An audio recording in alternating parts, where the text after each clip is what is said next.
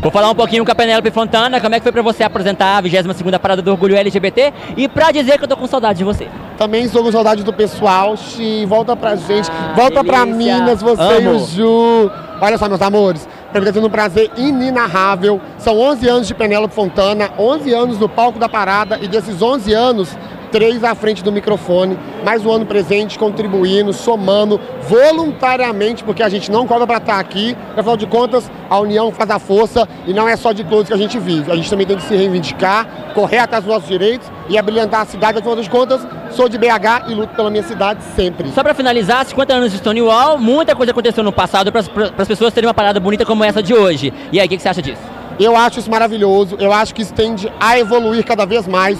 As pessoas têm medo de uma onda anti-Bolsonaro chegando aí. Gente, o Bolsonaro não vai mandar em nada. Nós somos maioria e a gente vai mostrar pra ele, meu amor, que mexer com o movimento LGBT é mexer com caixa de abelha. Nós vamos nos unir porque ele é um e nós somos milhares. Sucesso, te adoro, viu? Beijo, obrigado, amor. Tudo de bom. Tchau.